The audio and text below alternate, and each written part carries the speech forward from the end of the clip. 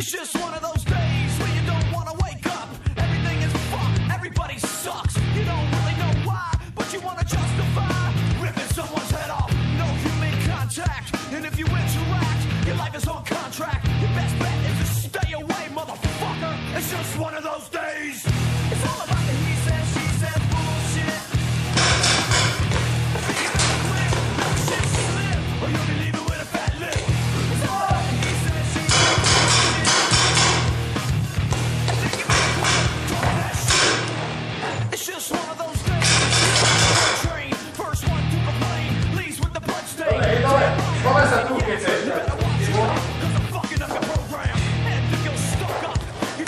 Oh, this is